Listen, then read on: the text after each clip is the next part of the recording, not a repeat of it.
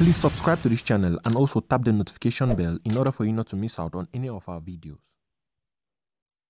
The magazine Jeune Afrique delivers once again through a series of articles devoted to the intricacies of the presidency of Cameroon, known as the Palace of Etoudi. The Pan-African magazine even compares what is happening there to Game of Thrones.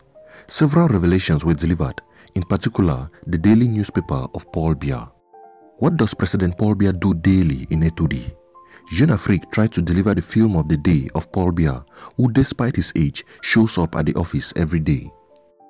According to this report, on the third floor of the palace in Yaoundé, an uninformed advisor discreetly crosses the door of the Holy of Holies.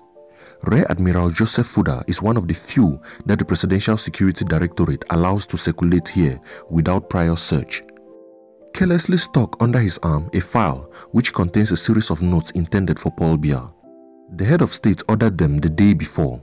All are short his collaborators know that the boss does not like to read analyses that are too long. He appreciates one-page documents that are understandable at a glance.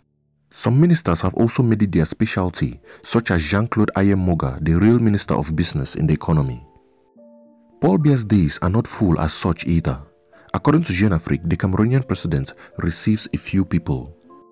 Paul Biya's time is precious especially since he has been spending fewer hours in his office on the third floor for several years than before.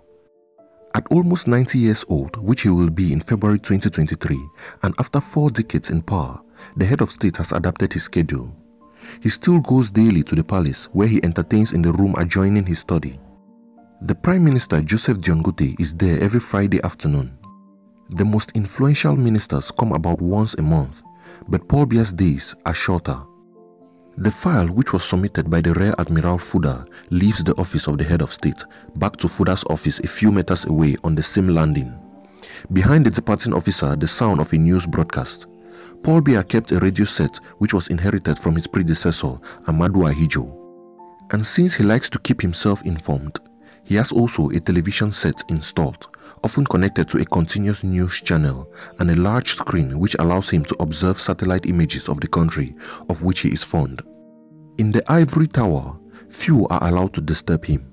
They can be counted on the fingers of one hand, none escaping the sharp gaze of the rear admiral.